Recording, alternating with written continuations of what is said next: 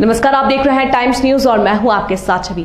आइए नज़र डालते हैं कुछ खास खबरों पर। इंदौर द्वारकापुरी पुलिस ने क्षेत्र के आदितन बदमाश को पुलिस आयुक्त के निर्देश के बाद जिला बदर किया था, लेकिन आरोपी वापस अपने घर आ गया था, जिसे पुलिस ने गिरफ़्तार कर रासुका की कार्यवाही किया मामला इंदौर के द्वारकापुरी थाना क्षेत्र का है, जहाँ पिछले माह महेश भिलाला नामक बदमाश को उसकी आपराधिक गतिविधियों के चलते पुलिस आयुक्त के निर्देश के बाद पिछले माह जिला बदर किया था, लेकिन आरोपी वापस अपने घर आ गया था। मुखबिर की सूचना के आधार पर आरोपी महेश को उसके घर, ऋषि पैलेस से पुलिस ने गिरफ़्तार किया है, जिस पर आसुका की कार्यवाही की जा रही है। महेश पिता मांगीलाल बिलाला, जिसका दिनांक इक्कीस दस दो हज़ार बाईस को जिला बदर आदेश पारित हुआ था, और मुखबिर की सूचना मिली कि ये अपने घर ऋषि पैलेस आया हुआ है।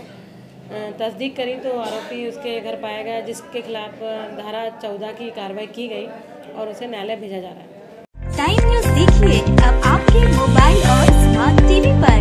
लाइव प्ले स्टोर से डाउनलोड करें।